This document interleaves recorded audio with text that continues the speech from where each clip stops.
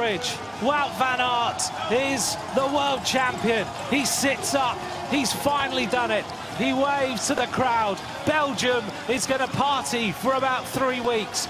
Wout van Aert wins. Lars van der Haar sprinting in to just try and close the gap. The emotion now of Wout van Aert, who is the world champion.